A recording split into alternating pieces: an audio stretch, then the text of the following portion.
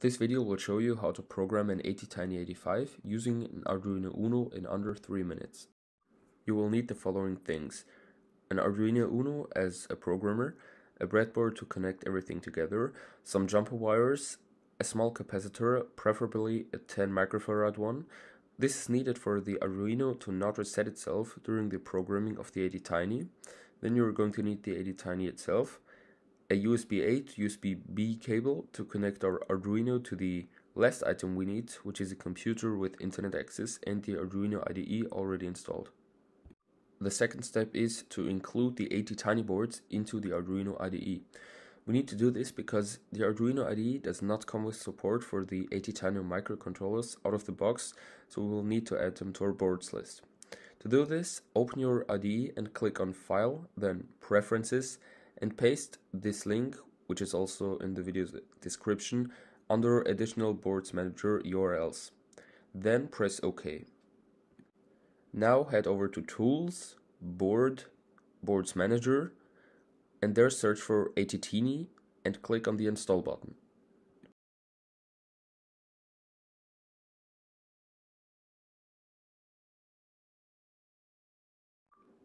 The third step is to program the Arduino Uno as a programmer for the ATtiny. Because the ATtiny does not have USB port, we're going to use the Arduino Uno as a programmer. To do this, connect your Arduino Uno to your PC without anything attached to it yet. Now, in the IDE, head over to File, Examples, Arduino ISP and click on the Arduino ISP script. When the script is opened, Select Arduino Uno as your board, choose the correct port and upload the sketch. After the sketch is uploaded, unplug your Arduino from your PC.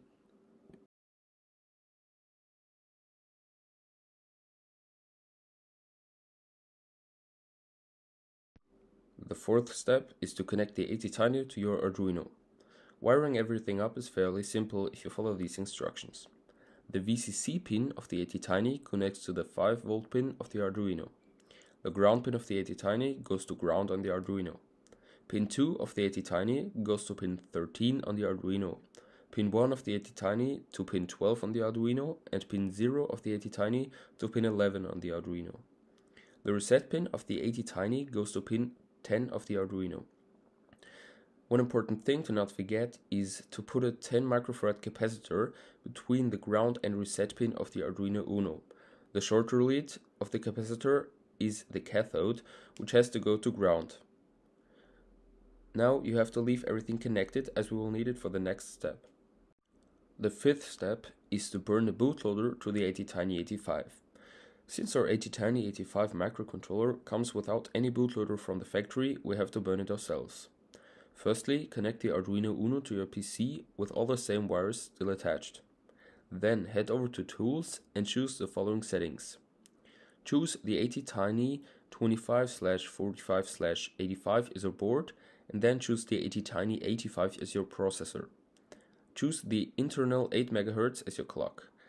Select the correct port of your PC to which the Arduino Uno is connected to. Last but not least, set your programmer to Arduino as ISP. Now click Burn Bootloader. This will obviously burn the bootloader to your ATtiny. It may take a few seconds to complete, when it's complete, you will be greeted with a message saying done burning bootloader. Now leave the wiring as it is because we will need it once more to upload the final sketch. Our last step is to upload the first sketch to our ATtiny. To upload a sketch, firstly open up your sketch. For this example, we'll just use the blink sketch. Change the pin of the LED to 0 to use the fifth physical pin on the ATtiny. Keep all the settings in the tools menu like before and upload your sketch. When it has finished uploading the sketch, unplug the Arduino Uno first and then the ATtiny from the Arduino. Place the ATtiny in your breadboard and supply it with 3.3 volts on the VCC pin.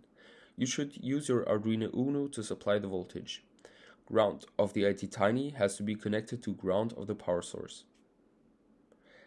Then connect an LED to pin 0 or the fifth physical pin on the ATtiny with the longer lead going to pin 5 and the shorter one going to ground of the ATtiny.